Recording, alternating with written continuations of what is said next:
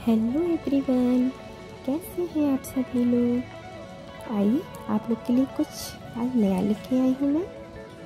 इन गुलाबी गुलाबों से अपने चेहरे की रंगत को कैसे गुलाबी बनाएँ और भी इसके कई असरदार उपाय हैं। आप लोग को मैं पूरे वीडियो में बने रहिएगा, बताऊँगी। जैसे इसका रंग हमारी आँखों को शीतलता प्रदान करता है चेहरे के लिए इसका नियमित रूप से उपयोग हमारे चेहरे में बहुत ही अच्छा निखार लाता है दोस्तों। चलिए जानते हैं इनका इस्तेमाल हम अपने चेहरे पे कैसे कर सकते हैं। इन गुलाब की ताज़ी पंखुड़ियों को ले लीजिए और इनका एक पेस्ट तैयार कर लीजिए। अगर आपके घर में एलोवेरा लिप्स है तो उसमें से कुछ जेल निकाल के आप दोनों का पेस्ट तैयार करके अपने चेहरे पे आँखों के नीचे लगा सकते हैं। आँखों के नीचे अगर काले घेरे हैं तो उनमें ये बहुत ही आरामदायक सिद्ध होता है। बहुत ही जल्दी, एक ही दो बार लगाने से बहुत ही जल्दी आराम मिलते हैं।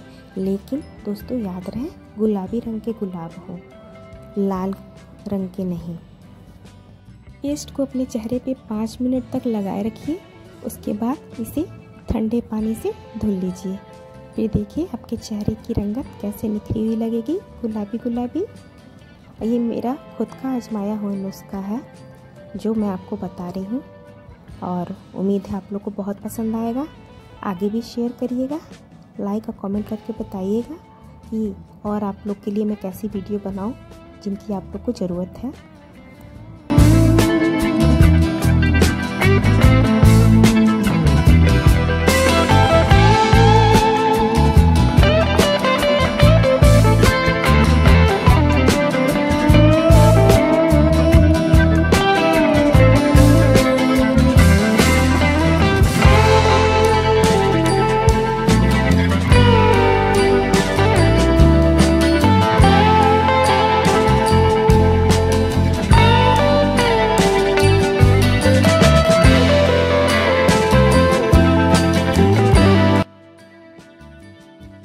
वीडियो में फूलों द्वारा की गई अरोमा थेरेपी के बारे में बताऊँगी दोस्तों।